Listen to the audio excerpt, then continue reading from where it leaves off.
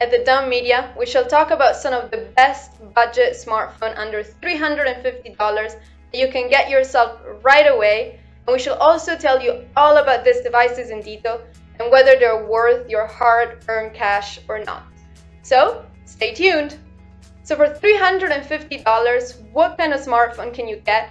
Well, to be amazed, a lot of values as of now that we're entering 2021 there is a whole lot of technology built and packed into a sub $350 smartphone.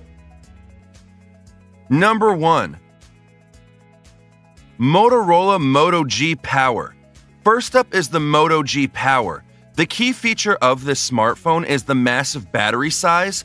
It's averaging up to three days of battery life. That is totally insane. On board, it has a huge 5000 mAh battery pack that powers the device.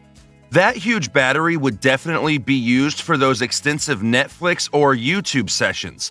To make your entertainment experience amazing, it has a pair of dual speakers up front, a 6.4 inch humongous display, 4 gigabytes of RAM, and a very reasonable Snapdragon 665 chipset. Such a huge battery has yet another advantage. The battery degradation is not that noticeable. With every other smartphone released in 2020, you might notice that after a year of usage, the battery might not be able to store the charge that well. This is not the case with the Moto G Power's battery, as the size is very massive. So, if you are out there looking for a smartphone that can keep you connected through your trip for two to three days, then this budget device is the battery king and provides the perfect solution for your battery anxiety. The camera setup is also pretty decent. We are getting a triple camera setup with a 16 megapixel main shooter, an 8 megapixel ultra wide angle camera with a 2 megapixel macro lens for taking some decent close up photos of really small objects. We are really glad that Motorola gave the G Power a Qualcomm Snapdragon 665, which is quite powerful and can handle everyday tasks with ease. On top of all these exciting features, we are getting a very modern design. The front of device is entirely screen with very minimal bezels. The punch hole camera cutout makes the display and movie experience really pleasing. Lastly, the inclusion of a USB Type C port means one less cable to worry about while traveling. Number 2. Next up on our list is the Samsung A51. This is no doubt a great smartphone. Actually, it was one of the best selling smartphones in Samsung's lineup this year. This holds a true value for money. The A51 by Samsung is kind of a mid range device in already listed budget segment, so that's a perfect catch to start with. You get a massive screen with almost no bezels. A 6.5 inch Super AMOLED display means those inky deep blacks and saturated color spectrums will be spot on. On the back, we have the quad camera setup with 48 megapixel main shooter, 12 megapixels ultra wide, and a pair of 5 megapixel lenses for depth and macro shooting. On top of that, you also get a 32 megapixel selfie camera. That's truly insane, and your selfie game would be elevated to a whole new level. The A51 has a decently sized 4000 mAh battery on board, and you get a USB Type C port for charging. On top of that, consumers get the Samsung quality brand recognition, and excellent durability. The overall design of A51 is very similar to that of Samsung's flagship smartphones released this year. That's a good thing, as the design language is very modern and will age pretty well. So, despite being a sub $300 budget device, it delivers a very premium feel. You can get this device with a pretty amazing selection of RAM and storage options. With a 4GB RAM, you can avail the 128GB storage option. And if somehow that's not enough storage for you guys, it also has a dedicated memory slot that can support micro SD cards up to 128 gigs. Lastly, the A51 has the very trendy under the screen fingerprint sensor, which is really practical and accurate while providing a very upmarket feel to the device itself. Number 3 Samsung A21s. So, if it happens that you still don't want to spend quite that much, the Samsung A21s is a newer smartphone. It has been out there for quite a while now and it has some pretty decent and reasonable specifications as well. This tiny boy has a 6.5 inches IPS display with a quad camera set up on its back.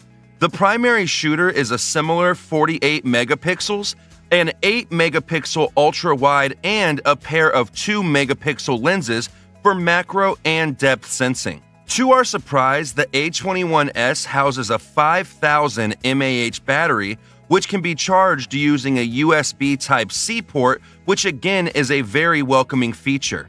With this huge battery pack, this is going to last you for days of usage. The display not being that demanding, so this beefy power supply will easily get you to 3 to 4 days of standby times. Not confuse yourself with the A21 as it was launched earlier this year. The A21S holds a better value for money overall.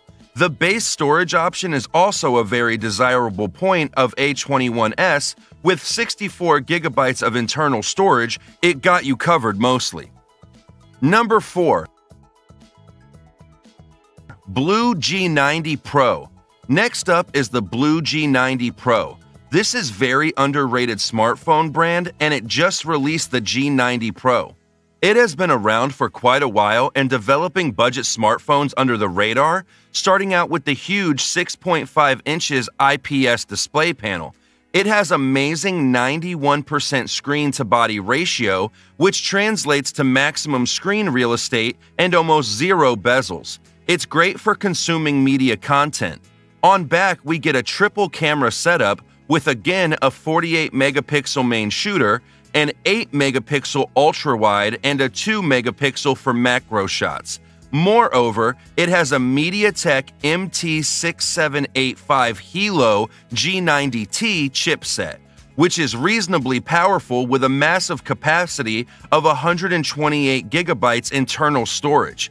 It has a king size 5100 mAh battery pack that can give you a battery life of about three days and is charged using a USB Type C port. It also supports fast charging. However, it may be noted that it doesn't ship with a fast charger. The consumers will have to buy that separately. Number 5. LG Stylo 6. Last to make our list is a phone by LG, the LG Stylo 6. For all those Galaxy Note fans out there, it's a quite bargain device to get. The main selling point of this smartphone is to be the stylus support. This year, it features a more refined design. The click mechanism is pretty addictive, we must say. On top, the pressure sensitivity is also much better than last year's. Up front, it has a massive 6.8 inches IPS display panel with a moderate 82% screen to body ratio. Though it's a budget phone, it has a very respectable 395 pixels per inch density. It's powered by a MediaTek MT6765 Helio P35, which in itself is really performing chipset.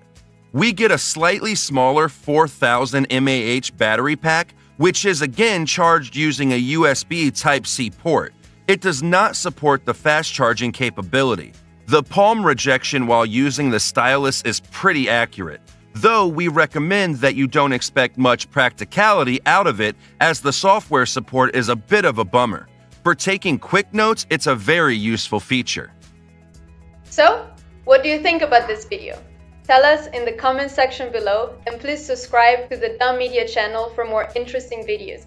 Hit the bell icon so that you don't miss out on the interesting videos we plan to post next. And don't forget to like and share the video with your friends. Thank you for watching The Dumb Media. See you in the next video episodes. Until then, goodbye and stay safe.